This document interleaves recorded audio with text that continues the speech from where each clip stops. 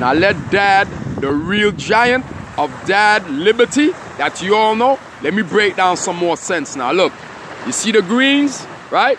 Look, when they went and they made up a Lady Liberty, you didn't realize the She-Hulk is green? Huh? Like the Hulk is green? Huh? All right now. Then you heard about the Hulk first, then you heard about She-Hulk, right?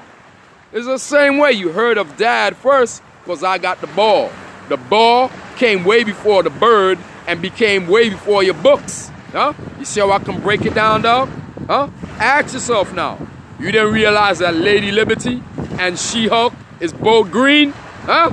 Ah, yeah, yeah, dog. Y'all are that stupid.